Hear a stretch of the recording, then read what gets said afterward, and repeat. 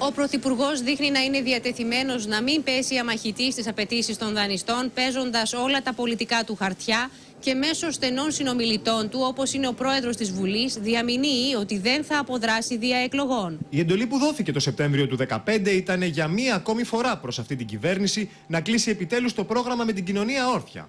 Δεν έχουμε εντολή απόδρασης. Δεν έχουμε τέτοια ευθύνη να πούμε να συνεχίσουν κάποιοι άλλοι.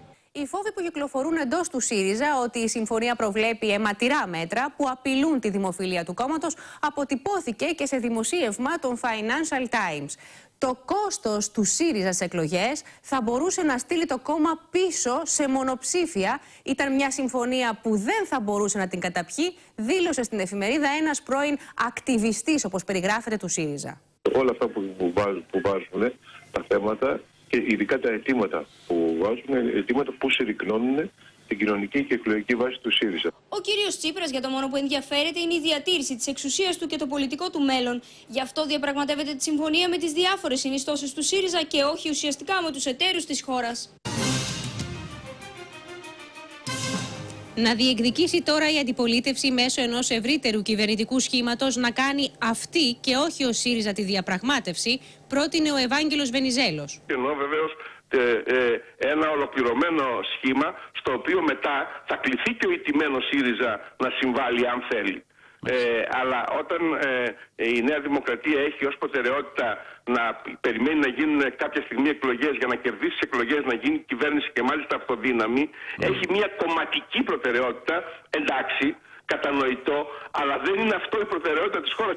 Νέα κυβέρνηση από την παρούσα Βουλή προκρίνει και ο Σταύρος Θοδωράκης, κόντρα στο δόγμα Μητσοτάκη για πρόορες εκλογές τώρα αν η κυβέρνηση δηλιάζει να κλείσει την αξιολόγηση, δεν θέλει να την κλείσει, θεωρεί ότι μπορεί να πορεύεται έτσι, τότε θα πρέπει να έρθει στη Βουλή να παραδώσει την εντολή, γιατί αυτή η χώρα δεν αντέχει σε άλλη παράταση. Νέες απειλές κατά του Γιάννη Στουρνάρα εκτόξευσε ο γραμματέας του ΣΥΡΙΖΑ, γράφοντας στο Facebook στο όνομα της ανεξαρτησίας και του δημοσίου συμφέροντος, δρούσαν επί χρόνια ανεξέλεγκτα και σήμερα δηλώνουν άγνοια για τα ξέφρενα πάρτι των δανείων. Όλοι όσοι διετέλεσαν πρόεδροι τραπεζών και κυρίως της Τράπεζας της Ελλάδας να σταματήσουν να προκαλούν και να προετοιμαστούν να λογοδοτήσουν στον ελληνικό λαό. Το πάρτι τέλειωσε.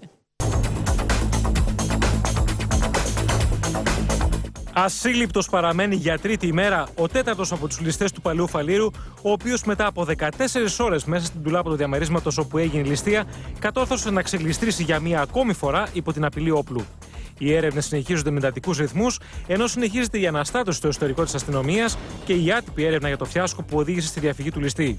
Η αμηχανία άλλωστε της ελληνικής αστυνομίας έγινε ιδιαίτερος εμφανής στην ασυνήθιστα διατυπωμένη ανακοίνωσή της, όπου τόνιζε ότι αξιολογείται η επιχειρησιακή διαλειτουργικότητα των εμπλεκομένων υπηρεσιών. Η ληστεία με δράστες στους τέσσερις αποφυλακισμένους βαρυπινίτες που έκαναν χρήση των ευνοϊκών ρυθμίσεων του νόμου Παρασκευόπουλου για την αποσυμφόρηση των φυλακών προκάλεσε θύελα αντιδράσεων τόσο από πολίτες, θύματα αντίστοιχων εγκληματικών πράξεων, καθώς και συνδικαλιστών της αστυνομίας. Οι ειδικοί φρουροί, με αφορμή τα αλλεπάλληλα περιστατικά βίας από αποφυλακισμένους εγκληματίες του νόμου Παρασκευόπουλου, σήμερα κατέθεσαν αναφορά στην εισαγγελέα του Αρίου Πάγου. Με την αναφορά αυτή, οι ειδικοί φρουροί ζητούν να πληροφορηθούν τον συνολικό αριθμό των αποφυλακισμένων, αλλά και εκείνων που επανέλαβαν εγκληματικές πράξεις μετά την αποφυλάκησή τους. Ζητάμε από την κυρία εισαγγελέα του Αρίου Πάγου να μας δώσει πραγματικά στοιχεία. Το πόσων έχουν φυλακιστεί, πόσοι έχουν αποφυλακιστεί με τον νόμο Παρασκευόπουλου και πόσοι εξ αυτών έχουν επανέλθει με εγκληματικές πράξεις. Αυτό θα είναι ένα εργαλείο χρήσιμο και για κατάργηση του νόμου. Σήμερα, ωστόσο, ο Υπουργός Δικαιοσύνης Σταύρος Κοντονής παραδέχτηκε πως πρέπει να γίνουν αλλαγές στον νόμο. Θα πρέπει να εισαχθούν περισσότερες εξαιρέσεις των ευεργετικών διατάξεων από αυτές που υφίστανται τώρα. Σήμερα υφίσταται μόνο η εξαίρεση για αδικήματα κακουργηματικού επίπεδου εις βάρος ανηλίκων. Την ίδια ώρα που η πολιτική ηγεσία του Υπουργείου Δικαιοσύνης εξαγγέλει τις αλλαγές στον νόμο Παρασκευόπουλου, τα θύματα των ληστείων ζουν τον δικό τους εφιάλτη. Η κυρία Αθηνά Παπαδοπούλου, μητέρα θύματος, είδε το γιο της να πέφτει νεκρός από τις σφαίρες αποφυλακισμένου κακοποιού όταν αυτός επιχείρησε να ληστέψει το κοσματοπολείο τους το Σεπτέμβριο του 2015. Σε κάνει να νιώθεις σκουπίδι, τίποτε ότι δεν υπολογίζει τη ζωή σου.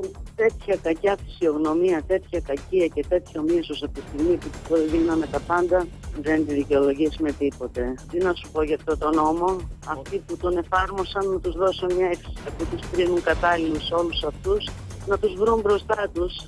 Ακόμη ένα θύμα ληστείας που κόντεψε να πεθάνει από τα χέρια του κατασυρωή Νιγηριανού Κακοποιού, που επίσης είχε αποφυλακιστεί πρόσφατα, είναι η 85χρονη κυρία Γεωργία Κουμπάτη. Με εμφανή τα σημάδια της ληστείας στη φωνή τη, θυμάται τις ανατριχιαστικές στιγμές που έζησε. Με, με στραγγάλισε δύο φορές, όχι μία. Και πήρε και τα λεφτά μου, το μισθό μου και έφυγε.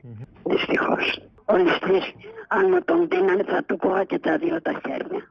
Στιγνοί κακοποιοί που βγήκαν από τη φυλακή ξαναγυρίζουν στον τόπο του εγκλήματος ή διαπράττουν νέα αδικήματα εκμεταλλευόμενοι τον διάτριτο νόμο Παρασκευόπουλου.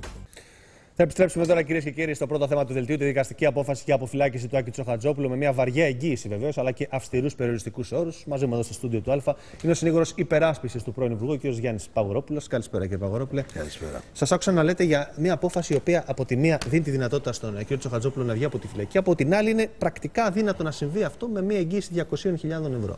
Έτσι είναι. Ε, είναι πράγματι μια καλή απόφαση ως προς τα πέντε σκέλη της. Το έκτο όμως λιγάκι είναι λίγο δύσκολο. Δεν θέλω να προκαταλάβω. Είναι όμως λίγο δύσκολο για μας υπό την έννοια του ότι η περιουσία Τσοχατζόπουλου είναι κατασχημένη ολοσχερός, οι λογαριασμοί Τσοχατζόπουλου το ίδιο και βέβαια και η σύνταξή του. Επομένως ε, είναι πάρα πολύ δύσκολο τουλάχιστον σε πρώτο βαθμό να δούμε από πού μπορούμε να πάρουμε για να συμπληρώσουμε. Τώρα, Τώρα αυτή η απόφαση έχει να κάνει με το γεγονός ότι και ο μέσος πολίτης, ίσως και το δικαστήριο, εσείς τα ξέρετε καλύτερα, δεν έχει πιστεί, φαντάζομαι, ότι ο κ. Τσαχατζόπουλος δεν έχει κάπου χρήματα στην άκρη για να μπορέσει να πληρώσει. Ή έχει και δεν θέλει να το εμφανίσει. Αντιλαμβάνομαι ότι κάπως έτσι το ερμήνευσε και το δικαστήριο. Δεν μπορώ να καταλάβω κάτι άλλο. Ε, αν το ερμήνευσε το δικαστήριο έτσι, θα μου επιτρέψει να σας πω ότι κακώς το ερμήνευσε. Διότι το δικαστήριο αποφασίζει με βάση τα στοιχεία και όχι με βάση αυτά τα οποία ακούγονται στην περιεραίωσα ατμόσφαιρα. Εκείνο το οποίο μπορώ να σας πω είναι τουλάχιστον αυτή τη στιγμή που μιλάμε όλοι οι, δυνα... οι δυνατότητες για τους πόρους του κ. Τσοχατζόπουλου είναι κλειστές. Επομένως, εκείνο το οποίο πρέπει να κάνουμε στο επόμενο χρονικό διάστημα είναι να απευθυνθούμε σε οικογένεια, φίλους, ευρύτερες ε, κοινωνικές ομάδες ζητώντας μια βοήθεια πάνω στο. Δηλαδή να, να οργανώσουμε έναν τρόπο. ευρύτερες κοινωνικές ομάδες θα κάνετε ε, έρανο από ό,τι αντιλαμβάνομαι. Ε, ναι, δεν μ' αρέσει ο όρος αυτός. Ναι, δεν μ' αρέσει ο όρος αυτός.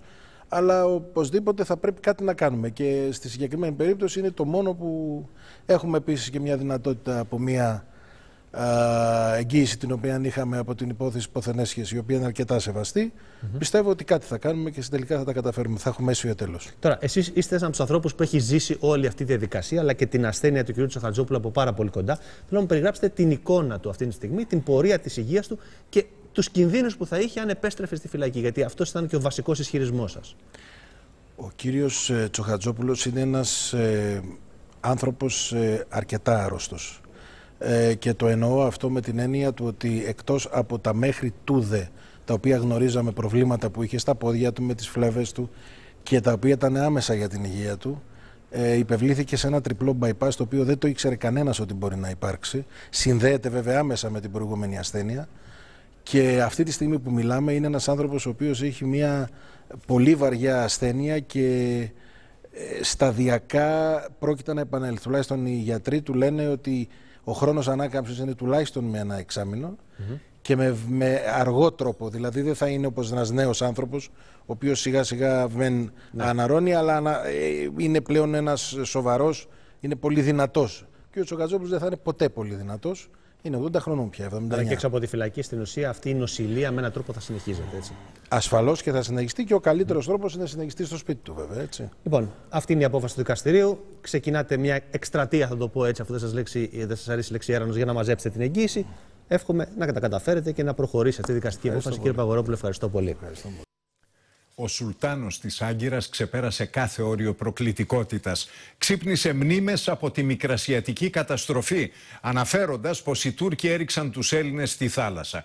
Για το νέο ανθεληνικό κρεσέντο του Ερντογάν θα μας ενημερώσει τώρα η ανταποκρίτριά μας στην Τουρκία, η Μαρία Ζαχαράκη.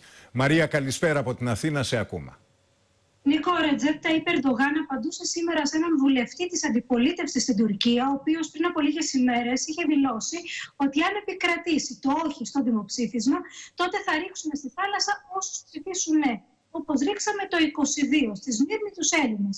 Ο Τούρκος πρόεδρος σήμερα βρήκε λοιπόν υποτιμητικό το σχόλιο αυτό του Τούρκου βουλευτή να παρομοιάζει τους υποστηρικτές του με τους Έλληνες και προσπάθησε να τον βάλει στη θέση του απαντώντας του όλο απαξίωση. Βρε ανάγωγε, του είπε αυτός ο λαός, ο τουρκικός εννοώντας, είναι Έλληνες, νομίζεις. Εμείς ήμασταν που ρίξαμε τους Έλληνες στη θάλασσα. Τα ίδια σχόλια Νίκο επανέλαβε και σε δεύτερη ομιλία του σήμερα στην Προύσα, λέγοντας πάλι στον ίδιο βουλευτή, από πότε εσύ, ποιος είσαι εσύ, από πότε άρχισες να βλέπεις το λαό αυτής της χώρας σαν Έλληνες; Να ευχαριστήσω την ε, Μαρία Ζαχαράκη. Πάμε να δούμε τι ακριβώς είπε ο Ερντογάν. Çıkıyor arkadan bir milletvekili. Nasipsiz. Evet diyenleri İzmir'de denize dökmekten söz ediyor. Yahu kimsin sen? Önce haddini bil. Seni Samsun, Samsun'a sokmaz ya. Seni Amasya'ya sokmazlar, Sivas'a sokmazlar ya. Haddini bil. Oralarda yürüyemezsin sen ya. Ve terbiyesiz herif ya. Bu millet Yunan mı ya? Biz Yunan'ı denize döktük. Sen bu ülkede evet diyenleri denize dökeceksin.